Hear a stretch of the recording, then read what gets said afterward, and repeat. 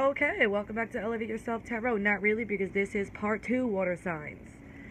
This is part two. Because yet again today, doing these fucking videos, all of a sudden my phone wants to just cut it off. So whatever. Can't stop, won't stop, bitch. Ellavate Yourself Tarot, your girl D. Kennedy. So I'm gonna continue this. Um, what the fuck else did I want to say? I'm gonna continue this where the where the shit let let off, and again, this is for the water sign, Scorpio, Cancer, Pisces, or if you are a stalker watching and dealing with one. but what I was saying is, is putting the cards down to continue. Don't worry, I'm not sick and dying. I just smoke a lot of weed. Um, I was saying that the ten of cups, the happy home life um, cups, is your sign, but also there's these bees up here by the roof. What are those bees? what the bees represent bees represent um, wealth. They represent nurturing and growing new. And um, it's good luck. What else did i want to say? It represents like um you know like you blossoming like you're like you and your future further blossoming forward um, and then these two pentacle cards were here the eight of the eight and the four. Um, pentacles is earth energy so this was a money read so your money or just your foundation your stability your home etc but the uh, four means that number itself means foundation and stability.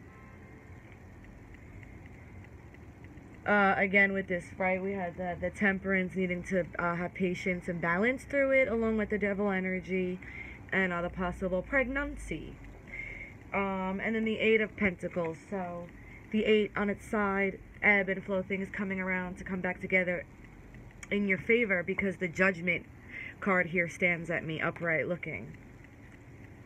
Because I'm going to go on to the chakra deck. Now I'm like afraid to continue. I'm like, oh great, I'm going to be cut off any minute. And it's saying, like, whatever, I deleted so much. I don't know what else it wants me to do. Delete more stuff, I guess.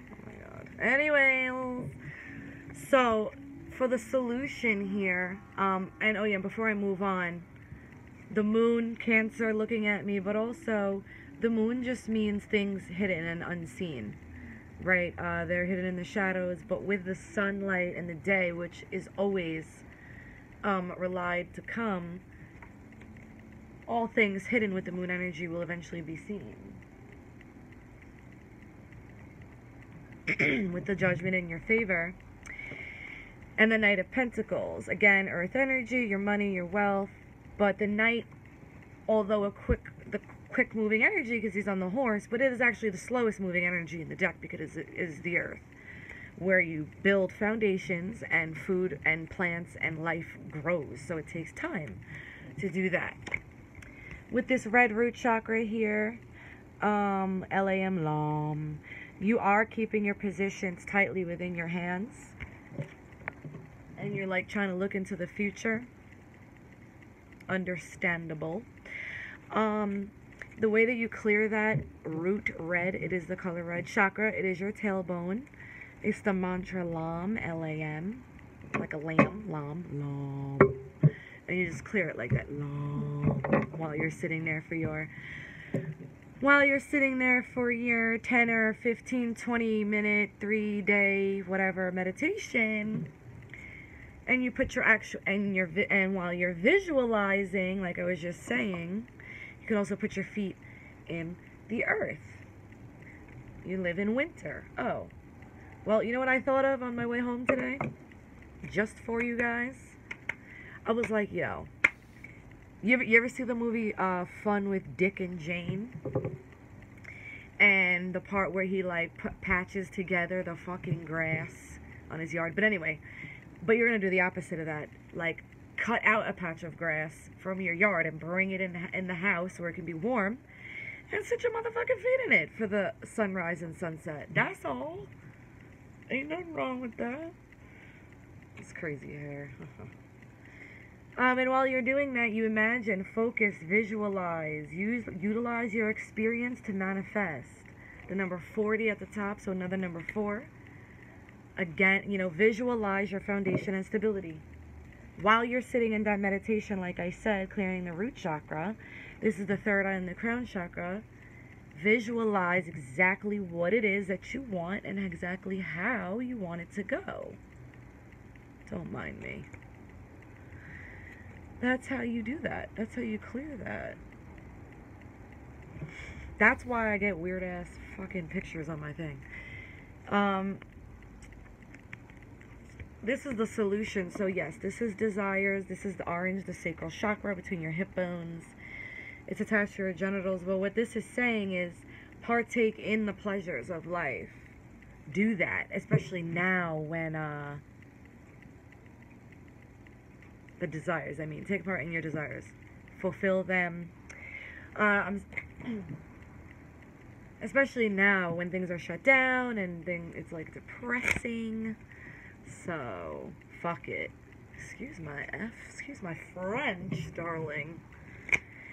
All right, I think I'm gonna stop there. Balance your emotions coming from the green heart chakra. That is the solution. Listen to your dreams, especially from here on out. Even the daydreams. They will speak to you and provide you the answers with their messages, signs, symbols. Right? Certain numbers. That that number at the top there is 39. It's 9, 10, 11, 12. The number 12, which is number 3, the Holy Trinity, mind, body, and spirit. Alright, so what's going to be the outcome, hun, hun? And for the outcome, we use the lovely angel deck here um, because it has full messages. The outcome is the sun. Whatever it is that you're working on, wanting, wishing, and hoping for. Like I said, remember the moon came up, and I said, but surely as the sun will rise, is as surely as those things in the skies will no longer matter in your eyes. And so the sun, also a sign of Leo Sagittarius, but that is the outcome. Whatever you're wishing and wanting and hoping and working on.